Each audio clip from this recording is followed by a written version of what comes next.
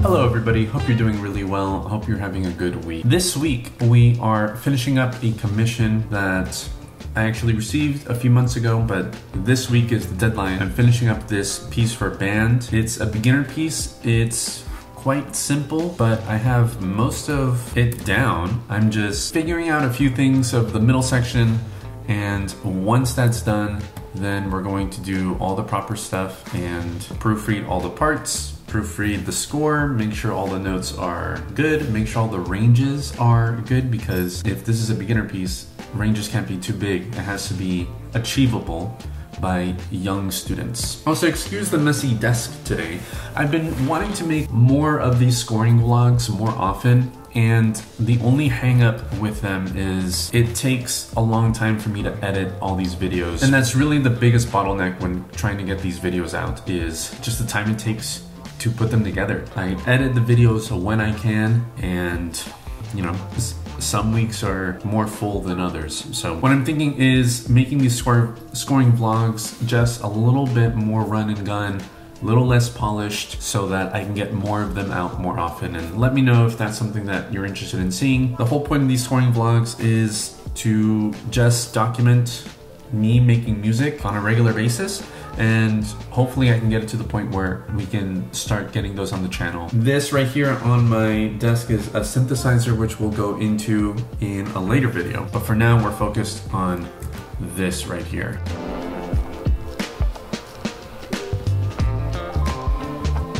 Okay, so I have this one little bit where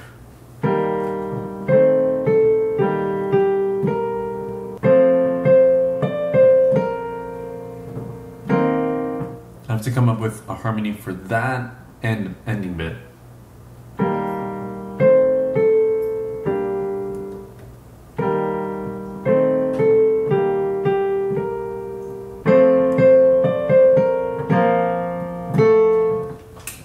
We already moved to the F, we can't resolve again to the F. What if we don't come from F?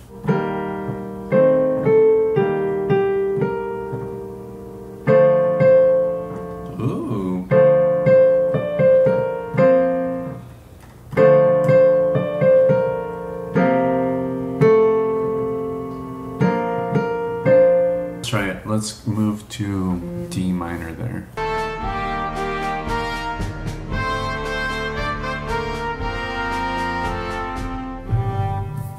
It's either my voice leading or the harmony is just not good, but that was weird.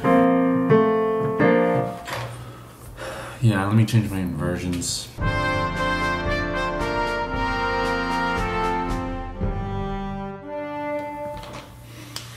Let me check my voicings. Yeah, I don't need the A.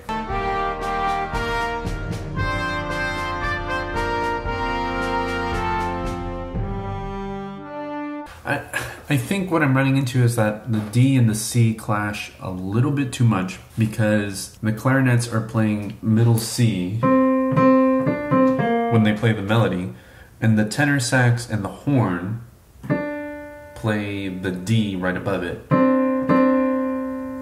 So I think that's what's rubbing up against it because the rest of the voicing is fine. It's just that. Now the rest of the instruments are playing in this octave. So if that were the case, that's, that's kind of nice. But because the melody is being played in octaves,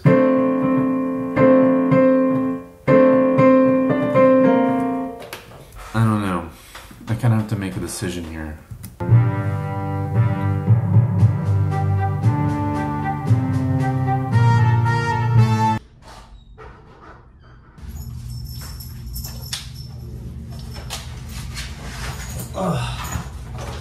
All right, made it home from school. Today I have the rest of the day to myself. So first I'm going to make lunch for Madeline and I from when she gets home, and then I'll finish the piece. Let's get to it.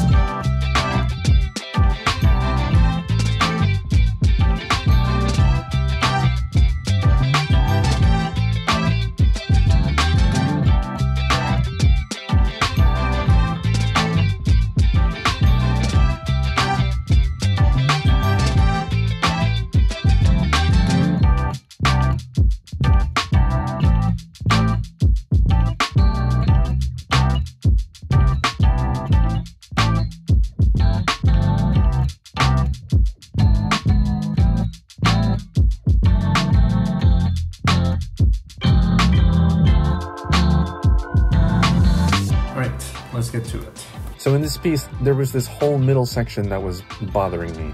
I needed to find a way to break up the form of the entire piece and still make it interesting. And what I had written initially was just stalling too much. There was too much dead air. Fortunately, I came up with a different way for the lines to move from one into the other using fragments of material I had already come up with, and that's what I'm doing here.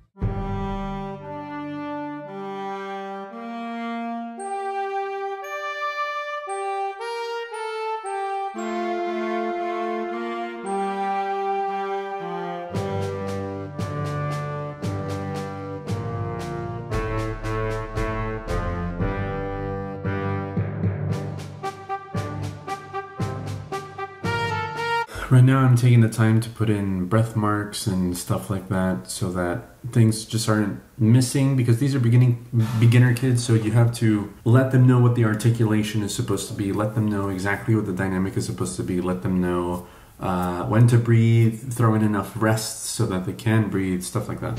The final part of the process is going in and checking that all the information that's needed in the parts are in there and that everything is as clear as day so here I'm formatting all the parts, making sure the score looks good, making sure things look the same in the parts as they do in the score, looking at page sizes, the amount of content in each page, page turns, bar numbers for every bar, just the typical things that would make rehearsal go really smoothly in real life.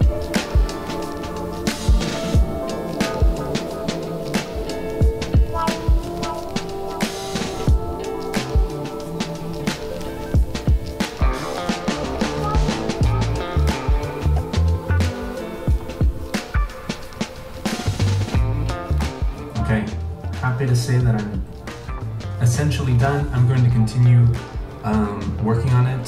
Thanks so much for watching. Catch me in the next scoring vlog. Like I said, I'm trying to make these more often, so I'm making these more, I'm making these a little less polished. So I'll see you in the next one. Thanks so much for watching, and as always, take care.